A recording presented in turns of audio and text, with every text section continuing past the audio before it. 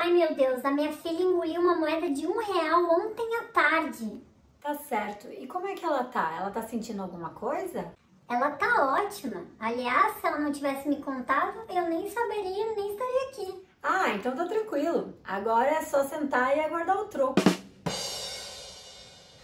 Engoliu espinha de peixe, osso de galinha, prego, imã, pilha, bateria? Vem comigo e vamos conversar quando devo me preocupar, quando tenho que procurar ajuda, quais são os perigos e principalmente como evitar.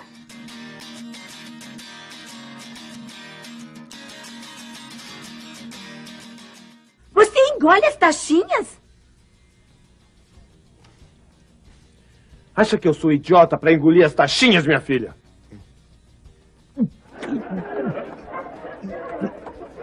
O que você tem? Olá! Para quem é novo no canal, meu nome é Taniele, eu sou médica, cirurgia geral e do aparelho digestivo. E como sempre, antes de começar, eu queria te pedir para curtir o vídeo, se inscrever no canal e não esquecer de clicar no sininho de notificação. Fez tudo isso? Então vamos para o assunto. A ingestão de alimentos não é tão incomum quanto parece. E ela pode acontecer em todas as fases da vida, desde as crianças, os adultos e até os idosos. Pode acontecer de propósito ou sem querer, mas geralmente é mais comum em crianças entre os 6 meses e os 3 anos de idade.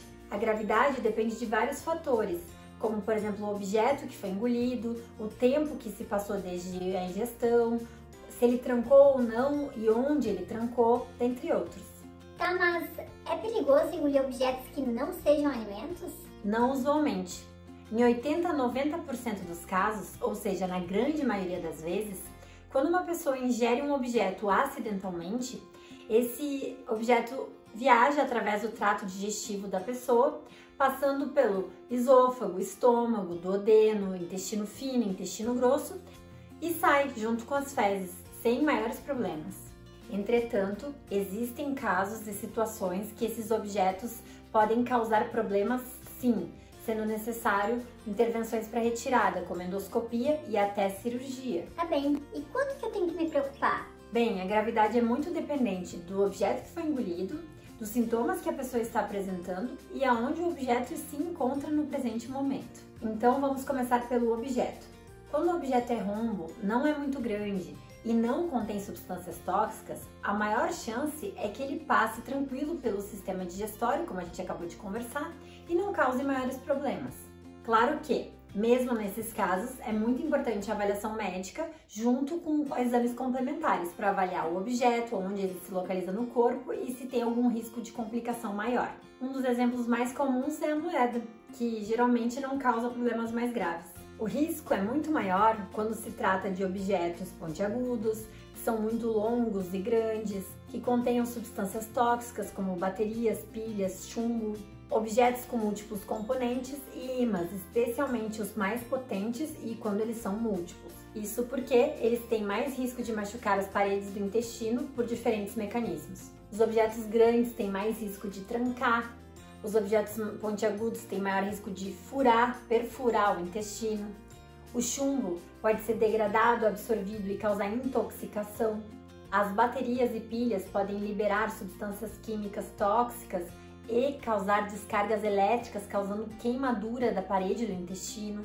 Os ímãs, especialmente quando eles são múltiplos, eles têm risco de, ao tentar se grudar, causar perfurações no intestino. E os objetos com múltiplos componentes têm riscos de ter mais de um desses componentes que a gente acabou de conversar.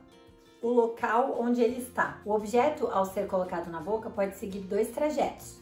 Ou ele é aspirado para os pulmões, ou ele é engolido e vai para o sistema digestivo. Quando aspirado, se trata de uma emergência, pois existe risco de asfixia e até morte imediata se não for resolvido logo, devido à falta de ar. Graças a Deus, a grande maioria das vezes, o objeto segue o outro caminho e segue para o sistema digestivo, fazendo aquele trajeto que a gente já conversou. Ou ele, no meio do caminho, pode trancar. E isso geralmente acontece em pontos do nosso trato gastrointestinal em que existem estreitamentos naturais. Os estreitamentos mais comuns são no esôfago, no fim do estômago e na transição entre o intestino fino e o intestino grosso.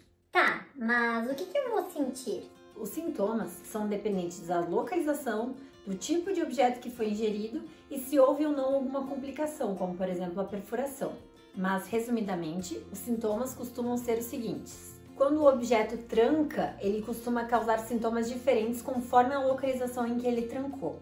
Quando ele tranca no início do esôfago, ele costuma causar hipersalivação, dor e dificuldade para engolir, chiado no peito, dificuldade para respirar e até desmaios. Quando no estômago, vômitos. E quando no intestino, ele pode causar dores abdominais em cólica, distensão abdominal, vômitos às vezes com presença de fezes, dificuldade para evacuar e liberar gases.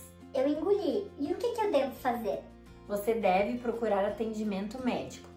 Assim, vai ser possível a realização de exames complementares, a identificação do objeto e da localização em que ele se encontra e, conforme decidir se pode esperar ele seguir o trajeto natural ou fazer alguma intervenção para retirar ele. Intervenção? O que seria intervenção?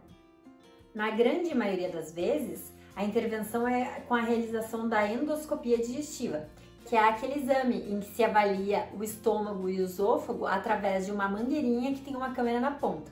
E com isso avaliar a localização do objeto e, através de pinças, retirar ele através da boca. E em casos mais graves e raros, a realização de cirurgias. Recados finais do vídeo então. Mastigue bem os alimentos. Se você fizer uma mastigação adequada na sua alimentação, dificilmente aquela espinha de peixe, aquele ossinho de galinha vai passar despercebido e parar no lugar errado. E agora os próximos recados são aos pais de filhos pequenos. Se qualquer brinquedo que o seu filho tenha passe pelo cilindro de um papel higiênico, ele provavelmente também vai passar pela boca do seu filho.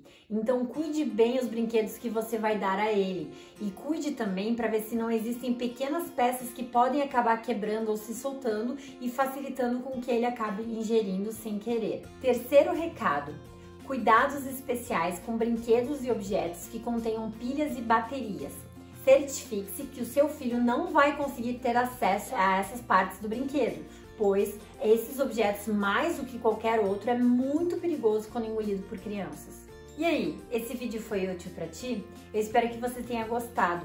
Compartilhe esse vídeo com seus amigos, principalmente aqueles que têm filhos pequenos. É muito importante e pode salvar uma vida. Eu fico por aqui. Cuide bem os brinquedos que você dá para o seu filho. Um abraço e tchau!